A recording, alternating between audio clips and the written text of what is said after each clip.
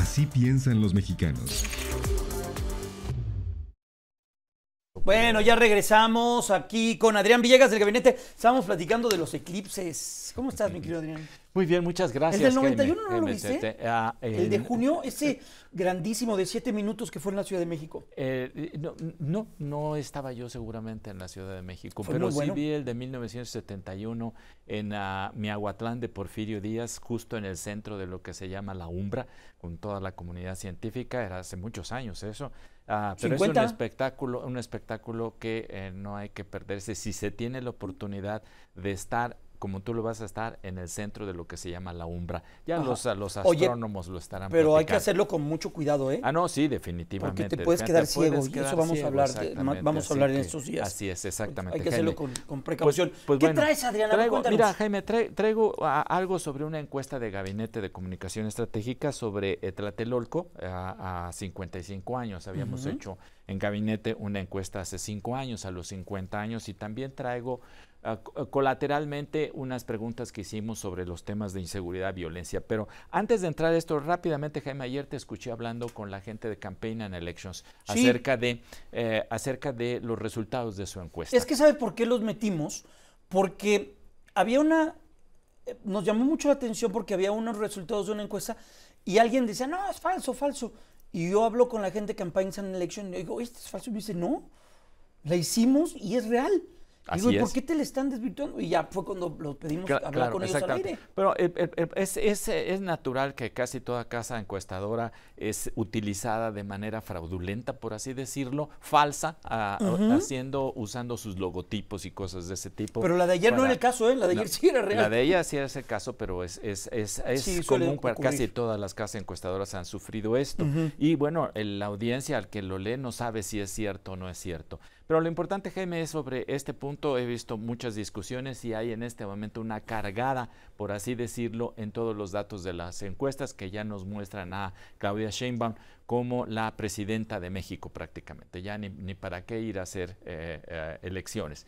Ah, creo yo, Jaime, que ahorita estamos, es importante comentarlo ante tu audiencia, en un momento todavía muy adelantado en el que no se están realmente midiendo eh, las capacidades de una y otra. Es decir, se está midiendo fundamentalmente el reconocimiento de nombre y hay que esperar, Jaime, hay que tener paciencia porque todavía falta mucho, mucho por verse y mucha agua por debajo del río de la opinión pública que tendrá que estar atenta a esto. Y bueno, vámonos rápidamente con, ah, ¿por qué Tlatelolco? Obviamente, pues eh, la conmemoración el 2 de octubre, Jaime, y nos vamos a la lámina número 2 y nos ayuda eh, nuestra producción, ¿sí? Y ah, eh, aquí queríamos medir ante esta pregunta, lo voy a, la voy a hacer de, de lectura, la pregunta a las personas que nos hacen el favor de escucharnos por la radio. Y la pregunta era, el 2 de octubre de, de 1968 ocurrió la agresión y muerte de estudiantes que protestaban contra la falta de libertades en la Plaza de las Tres Culturas en Tlatelolco. Dígame, ¿considera que este evento sigue presente en los mexicanos? ¿Es un evento que se ha olvidado con el paso del tiempo? Esto es importante ver que tanto se va, se va, se va digamos, decantando, se va, se va yendo de la memoria de una población un evento como esto. Sí, lo que nos encontramos en 2018 es que para un 56% el evento seguía presente hace cinco años y el evento no se ha olvidado, ahora creció hasta un 77%.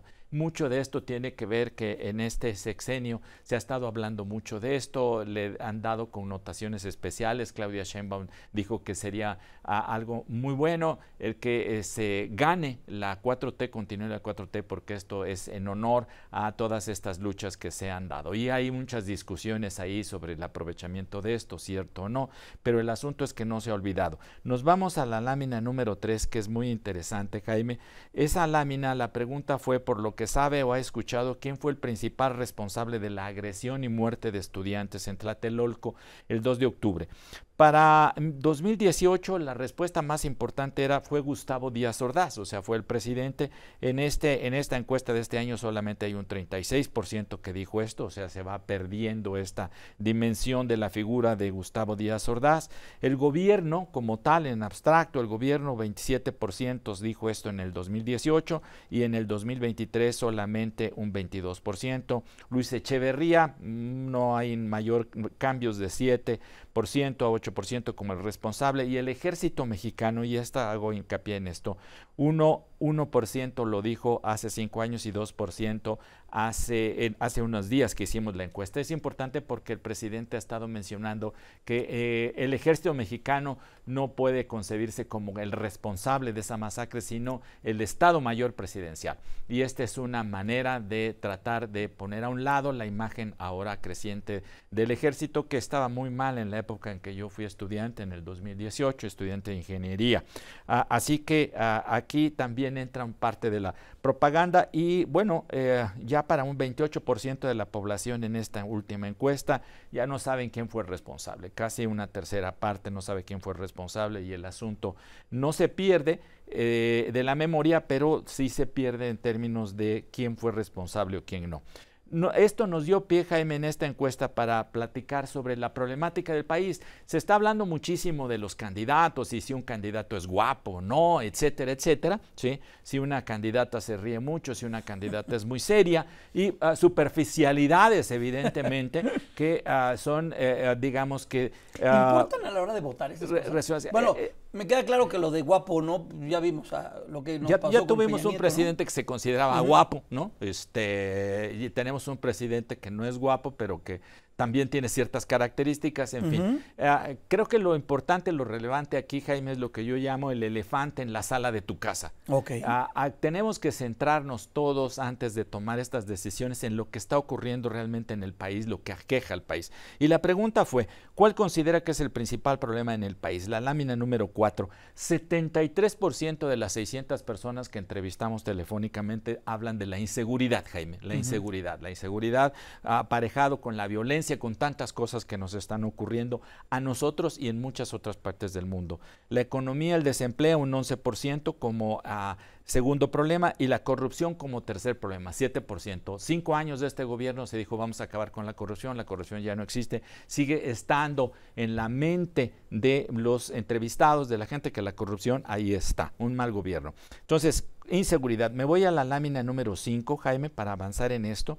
Y le preguntamos a las personas, dado que dijeron que la inseguridad es el principal problema, Tomando en cuenta la situación actual del país, ¿qué tanto considera que ha aumentado o disminuido la inseguridad en los últimos cinco años? Y estas respuestas lo que nos van a estar diciendo es que van a contrapelo, en contrasentido de lo que, por ejemplo, declara ah, la secretaria de Seguridad Ciudadana hace poco en esta conferencia que se llamó de alto nivel, en donde aquí no hay laboratorios de fentanilo, a donde está controlado, donde se han metido a la cárcel a no sé cuántos miles de delincuentes. ¿Y qué es lo que realmente las personas están pensando? Pensando en términos emocionales, la delincuencia entonces, ah, la situación actual de la inseguridad ha aumentado, disminuido en los últimos cinco años, ha aumentado mucho 44%. Son percepciones, no son datos que puede uno extraer de los datos oficiales de carpetas de investigación, etcétera. Son las sensaciones.